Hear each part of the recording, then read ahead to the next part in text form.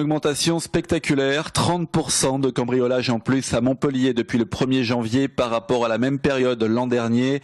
C'est le procureur de la République qui dévoile les premiers chiffres de la délinquance pour 2014. Autre inquiétude, la situation dans les transports publics. Il y a une diminution des faits de violence qui sont commis à l'encontre des, euh, des, agents euh, des transports publics, hein, des agents de la TAM pour Montpellier. Euh, en revanche, il y a une augmentation des faits de vol commis à l'encontre des passagers. Mais globalement, à Montpellier, les vols avec violence enregistrent une baisse de 7%, 50 faits en moins au dernier pointage du 1er janvier au 23 avril. Des chiffres qui restent trop élevés pour le procureur qui lance un avertissement.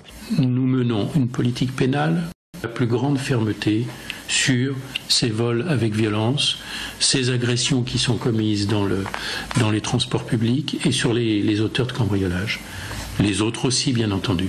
Mais il est absolument nécessaire que l'on fasse baisser le nombre de ces délits qui sont commis. La fermeté, c'est dans la recherche des auteurs, évidemment. Donc, on essaie d'employer tous les moyens dont nous disposons pour les identifier. Et lorsque nous les avons identifiés, euh, des modes de comparution devant le tribunal les plus réactifs possibles, notamment la comparution immédiate, avec des peines qui sont requises et souvent qui sont prononcées par le tribunal extrêmement sévères.